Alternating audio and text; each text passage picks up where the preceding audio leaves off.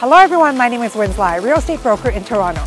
Today I'm taking you to my new listing at 6 Parmbelle Crescent, located at York Mills and Don Mills.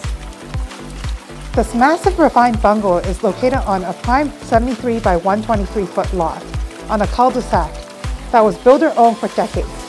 Starting with a fresh coat of paint in the front hallway, foyer and kitchen cabinets. Brand new red oak hardwood and carpet throughout the house. This house was designed to maximize indoor and outdoor living with multiple entrances leading to the backyard and even a green garden embedded in the library.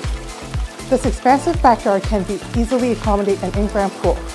Right here, you're also minutes away to Donalda Country Club, Three Valleys Public School, grocery stores, transit, shops on Don Mills, and minutes to 401 and DVP.